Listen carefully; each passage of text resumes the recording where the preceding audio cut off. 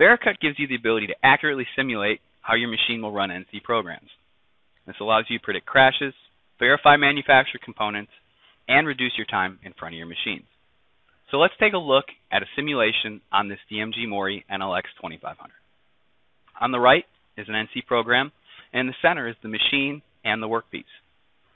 This is a digital twin of the machine, ensuring a precise simulation. Once the simulation starts, Vericut works through the NC program line by line. Machine movement and material removal are identical to the real-world results. During the simulation, you're able to manipulate the views to see any issues with the program. In this case, you can also see the part transfer between spindles.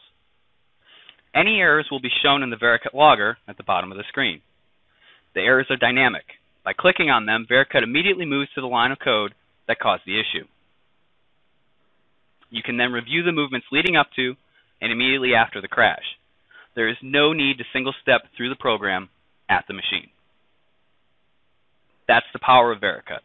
You're able to detect issues before they occur, spend less time in front of your machines, and it enables you to truly operate lights out. For more information on Vericut, visit our website at cgtech.com. Use the Contact Us link under the Company tab to get in touch with us directly. Or click on the link below the video.